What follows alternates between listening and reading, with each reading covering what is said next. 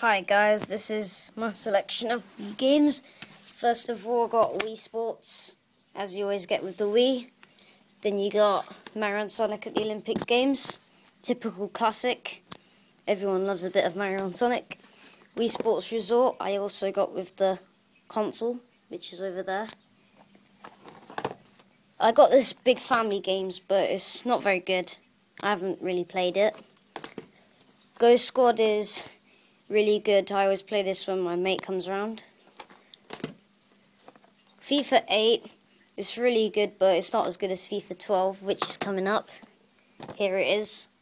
FIFA 12. Got a good ultimate team on there. Finally, Modern Warfare.